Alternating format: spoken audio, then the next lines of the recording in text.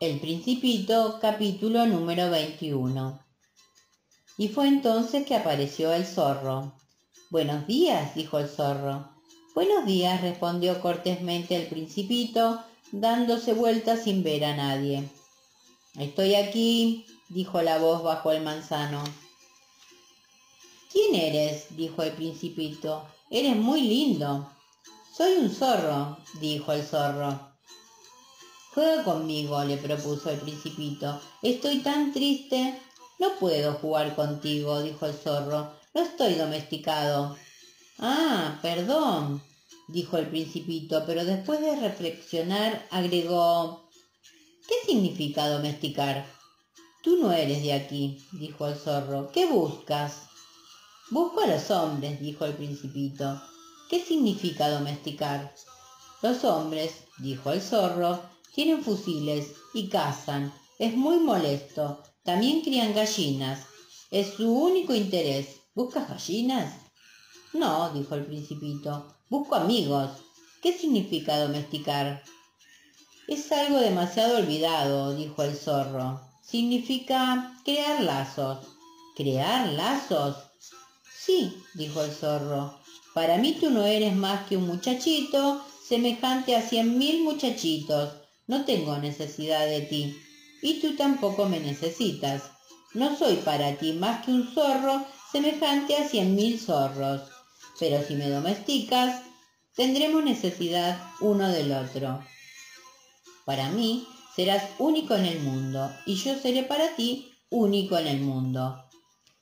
Comienzo a comprender, dijo el principito. Hay una flor. Creo que me ha domesticado. Es posible, dijo el zorro. En la tierra se ve de todo. Oh, no es en la tierra, dijo el principito. El zorro pareció muy intrigado. ¿En otro planeta? Sí. ¿Hay cazadores en ese planeta? No. Eso es interesante. ¿Y hay gallinas? No. Nada es perfecto, suspiró el zorro. Pero el zorro volvió a su idea. Mi vida es monótona. Caso gallinas, los hombres me casan, todas las gallinas se parecen y todos los hombres se parecen. Me aburro, pues un poco. Pero si tú me domesticas, mi vida se llenará de sol. Conoceré un ruido de pasos que será diferente de los demás. Los otros pasos me hacen esconder debajo de la tierra. El tuyo me llamará fuera de la madriguera, como una música. Y además mira, ¿Ves allí los campos de trigo? Yo no como pan, por lo tanto los campos de trigo no me recuerdan nada. Para mí el trigo es inútil, es muy triste. Pero tú tienes los cabellos dorados. Será maravilloso cuando tú me hayas domesticado. El trigo dorado me hará que me acuerde de ti y amaré el ruido del viento en el trigo. El zorro cayó y miró largo tiempo al principito. Te lo ruego, domestícame, dijo. Bien lo quisiera, respondió el principito, pero no tengo mucho tiempo, tengo muchos amigos que descubrir y muchas cosas que conocer. Solo se conocen las cosas que domestican, dijo el zorro. Los hombres ya no tienen tiempo de conocer nada. Compran cosas hechas a los comerciantes, y como no existen comerciantes amigos, los hombres ya no tienen amigos. Si quieres un amigo, domestícame. ¿Qué hay que hacer? dijo el principito. Hay que ser paciente, respondió el zorro. Primero te sentarás un tanto lejos de mí, así, en la hierba. Te miraré de reojo y tú no dirás nada.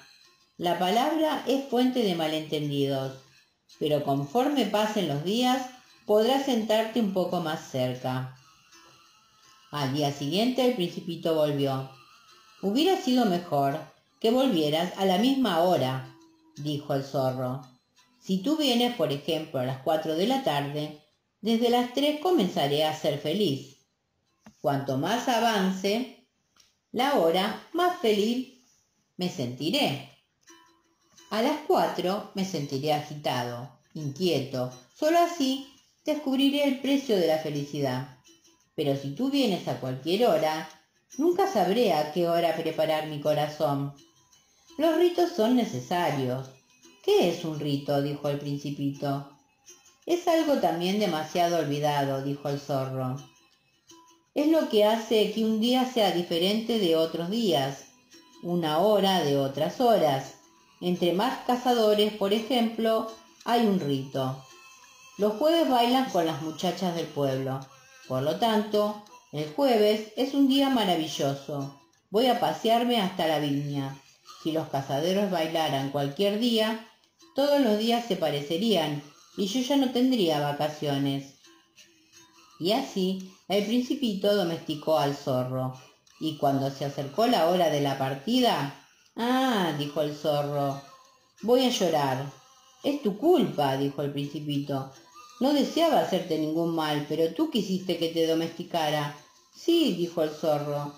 ¿Pero vas a llorar? dijo el principito. Sí, dijo el zorro. Entonces no ganas nada. Gané, dijo el zorro. Ahora el color del trigo es más agradable. Luego agregó, ve y mira nuevamente a las rosas. Comprenderás que la tuya es única en el mundo. Cuando vengas a decirme adiós, te regalaré un secreto. El principito fue nuevamente a ver las rosas. No se parecen en absoluto a mi rosa. No son nada aún, les dijo. Nadie las ha domesticado y no han domesticado a nadie. Ustedes son como era el mi zorro. No era más que un zorro semejante a cien mil otros, pero yo lo hice mi amigo y ahora es único en el mundo. Y las rosas se sintieron molestas. Ustedes son bellas, pero están vacías, les dijo. No se puede morir por ustedes. Por cierto, cualquiera que pase creería que mi rosa se les parece, pero para mí ella es más importante que todas ustedes, porque yo la regué, la protegí bajo la campana de cristal, la abrigué con el biombo, le maté las orugas, salvo dos o tres causas de las mariposas, la escuché quejarse, alabarse y algunas veces hasta callarse, porque esa rosa es mi rosa. Y volvió con el zorro. Adiós, le dijo. Adiós, dijo el zorro. He aquí mi secreto. Es muy sencillo. Solo se ve bien con el corazón. Lo esencial es invisible a los ojos. Lo esencial es invisible a los ojos, repitió el principito para acordarse. El tiempo que tú perdiste por tu rosa es lo que hace que tu rosa sea tan importante. El tiempo que perdí por mi rosa, dijo el principito, para no olvidarlo. Los hombres han olvidado esa verdad, dijo el zorro, pero tú no debes olvidarla. Eres responsable por siempre de lo que has domesticado. Eres responsable de tu rosa. Soy responsable de mi rosa, repitió el principito para acordarse.